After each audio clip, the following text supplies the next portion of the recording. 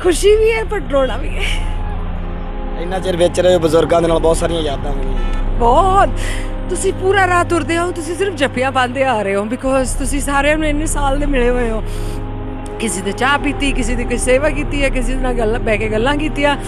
ਸੋ ਮੇਰੇ ਖਿਆਲ ਨਾਲ ਪੂਰਾ ਰਾਹ ਇੱਥੇ ਪਹੁੰਚਣ ਦਾ ਘੰਟੇ ਲੱਗ ਜਾਂਦੇ ਹੈਗੇ ਆ। ਇਹ ਤਾਂ ਨਵਾਂ ਹੀ ਰਿਸ਼ਤੇ ਹੈਗੇ ਆ। ਮੇਰੇ ਖਿਆਲ ਨਾਲ 50 ਸਾਲਾਂ ਦੀ ਉਮਰ 'ਚ ਮੈਂ ਰਿਸ਼ਤੇ ਨਹੀਂ ਦੇਖੇ ਸੀ। ਲੋਕਾਂ ਦੇ ਹੰਝੂ ਨਹੀਂ ਰੁਕ ਰਹੇ ਜੀ ਅੱਜ ਇਸ ਨਹੀਂ ਲਿਟਰਲੀ ਤੁਸੀਂ ਵੀ ਭਾਵੁਕ ਹੋ ਗਏ ਜੀ। ਆ ਦੇਖੀ ਆ।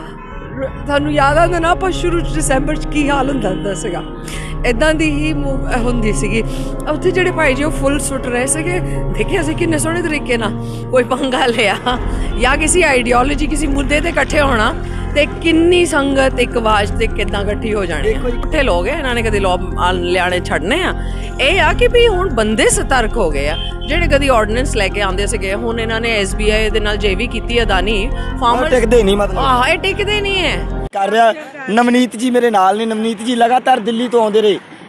ਈਵਨ ਕਿ ਵਕੀਲ ਨੇ ਇਹਨਾਂ ਦਾ ਧੰਦਾ ਵਧੀਆ ਚੱਲਦਾ ਵੈਸੇ ਤਾਂ। ਪਰ ਕਿਸਾਨ ਅੰਦੋਲਨ ਕਰਕੇ ਫਿਰ ਵੀ ਇਹਨਾਂ ਨੇ ਉੱਥੇ ਤਸਵੀਰਾਂ ਖਿੱਚਣ ਦੀ ਜ਼ਿੰਮੇਵਾਰੀ ਲਈ। ਬਾਪੂ ਤਪਾ ਵੀ ਮੇਰੇ ਨਾਲ ਹੈ ਬਾਪੂ ਆ ਜਾ। ਬਾਪੂ ਟੱਪਾ ਤਾਂ ਕਿਵੇਂ ਲੱਗਦਾ? ਰੋਣਾ ਆ ਰਿਹਾ ਵੈਸੇ ਦੇਖ ਕੇ। Honestly honestly ਹਾਂ। ਖੁਸ਼ੀ ਵੀ ਹੈ ਪਰ ਰੋਣਾ ਵੀ ਹੈ। ਇੰਨਾ ਚਿਰ ਵਿੱਚ ਰਹੇ ਬਜ਼ੁਰਗਾਂ ਦੇ ਨਾਲ ਬਹੁਤ ਸਾਰੀਆਂ ਯਾਦਾਂ ਬਣੀਆਂ ਬਹੁਤ। ਤੁਸੀਂ ਪੂਰਾ ਰਾਤ ਤੁਰਦੇ ਹੋ, ਤੁਸੀਂ ਸਿਰਫ ਜੱਫੀਆਂ ਪਾਉਂਦੇ ਆ ਰਹੇ ਹੋ ਬਿਕੋਜ਼ ਤੁਸੀਂ ਸਾਰਿਆਂ ਨੂੰ ਇੰਨੇ ਸਾਲ ਦੇ ਮਿਲੇ ਹੋਏ ਹੋ।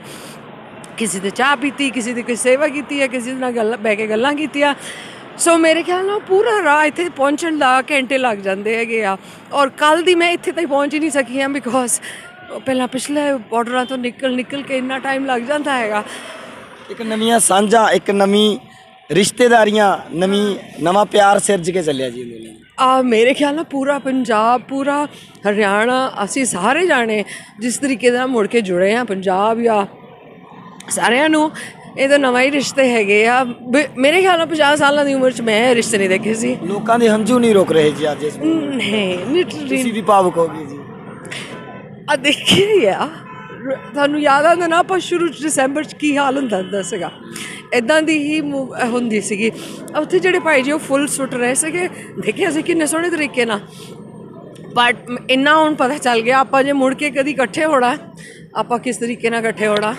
ਆਪਾਂ ਜੇ ਮੁੜ ਕੇ ਕਿਸੇ ਨੇ ਕੋਈ ਪੰਗਾ ਲਿਆ ਜਾਂ ਕਿਸੇ ਆਈਡੀਓਲੋਜੀ ਕਿਸੇ ਮੁੱਦੇ ਤੇ ਇਕੱਠੇ ਹੋਣਾ ਤੇ ਕਿੰਨੀ ਸੰਗਤ ਇੱਕ ਆਵਾਜ਼ ਤੇ ਕਿਦਾਂ ਇਕੱਠੀ ਹੋ ਜਾਣੀ। ਦੇਖੋ ਜੀ ਕਿੰਨੀ ਖੁਸ਼ੀ ਦੇ ਵਿੱਚ ਝੂਮਦੇ ਹੋਏ ਜਾ ਰਹੇ ਆ। ਸੱਚੀ ਗੱਲ। ਹਾਂ ਮੈਂ ਆ ਦੇਖੋ ਜੀ। ਓ ਗੋਡ। ਕਮਾਲ ਦੀਆਂ ਤਸਵੀਰਾਂ। ਕਮਾਲ ਦੀਆਂ ਤਸਵੀਰਾਂ ਜੀ। ਕਮਾਲ ਦੀਆਂ ਤਸਵੀਰਾਂ ਜੀ। ਕਮਾਲ ਦੀਆਂ ਤਸਵੀਰਾਂ ਜੀ।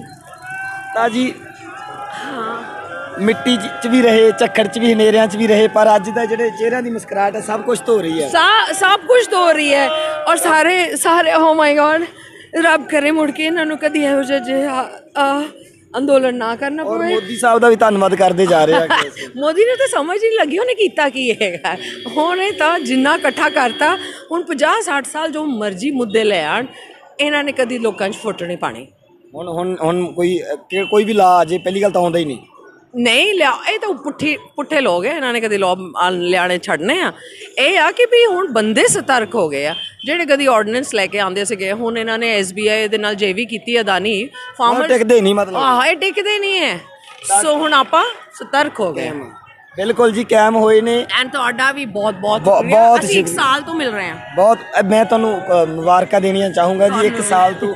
ਅਸੀਂ ਵੀ ਤੁਹਾਡੇ ਨਾਲ ਜੁੜ ਗਏ ਤੁਸੀਂ ਵੀ ਸਾਡੇ ਨਾਲ ਇਹ ਵੀ ਤਾਂ ਇੱਕ ਨਵੀਂ ਸਾਂਝ ਹੈ ਜੀ। ਸਹੀ ਗੱਲ ਹੈ ਸਹੀ ਗੱਲ ਹੈ। ਤੁਸੀਂ ਲੋਕਾਂ ਨੇ ਟੀਵੀ ਬਣਾ ਮਤਲਬ fantastic coverage thank you guys ਧੰਨਵਾਦ ਜੀ ਤਾਂ ਇਹ ਜਿਹੜੀਆਂ ਸਾਂਝਾਂ ਕਾਇਮ ਹੋਈਆਂ ਨੇ ਬਹੁਤ ਅ, ਕੋਈ ਪੈਸੇ ਦਾ ਲਾਲਚ ਨਹੀਂ ਹੈਗਾ ਲੋਕਾਂ ਨੂੰ। ਇਵਨ ਕਿ ਨਵਨੀਤ ਜੀ ਵਰਗੇ ਹੋਰ ਵੀ ਜਿੰਨੇ ਫੋਟੋਗ੍ਰਾਫਰ ਨੇ ਕਿਸੇ ਨੂੰ ਕੋਈ ਪੈਸੇ ਦਾ ਲਾਲਚ ਨਹੀਂ ਹੈਗਾ।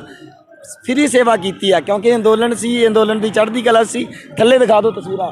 ਬਾਪੂ ਤਪਾ ਮੇਰੇ ਨਾਲ ਹੈ। ਬਾਪੂ ਤਪਾ ਕਰਕੇ ਜਾਣਦੇ ਨੇ ਸਾਰੇ ਅੰਦੋਲਨ ਦੇ ਵਿੱਚ ਜਗਦੇਵ ਸਿੰਘ ਤਪੇਹਰਾ ਨੂੰ।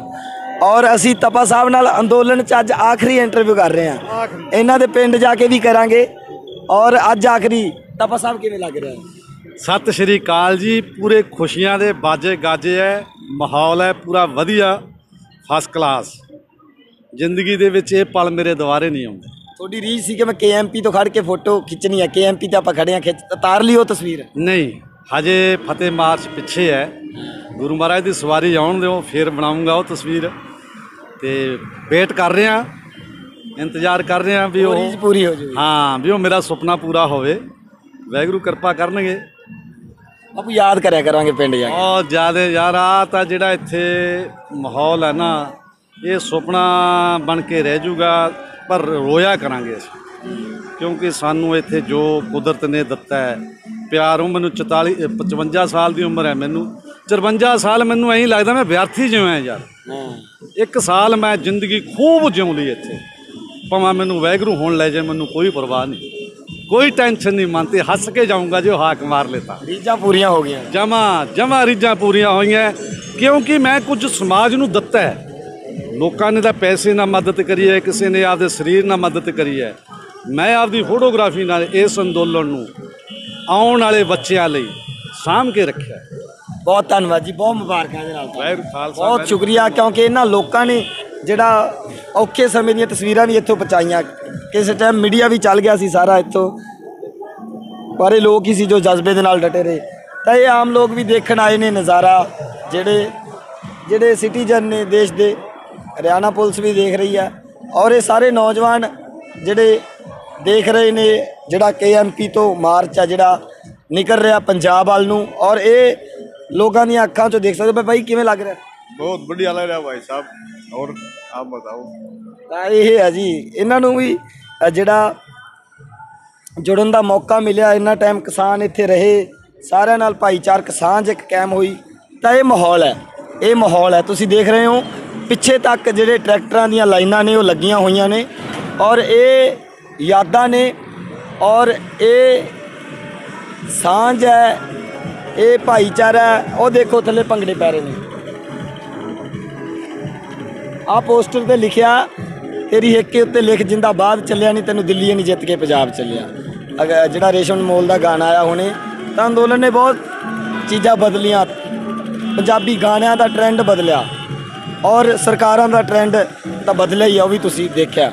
ਤਾਂ ਫਿਲਹਾਲ ਦੇ ਲਈ ਧੰਨਵਾਦ ਜੀ, ਦੁਬਾਰਾ ਜੁੜਦੇ ਹਾਂ।